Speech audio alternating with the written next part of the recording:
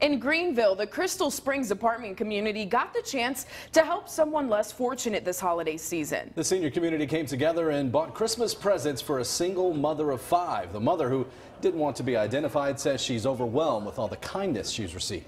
She lost her mother this year and is raising her three kids and two siblings. One of the seniors met with her a few weeks ago and knew they had to help. They got everything from board games to bikes for the family to push what you have to do aside yeah. and to not worry about what I have or what I don't have right. and to give to someone else was a huge blessing for me. Yeah. And it really touched my heart. This is the first time Crystal Springs has done something like this, but they say they hope to be able to continue helping someone in need every year.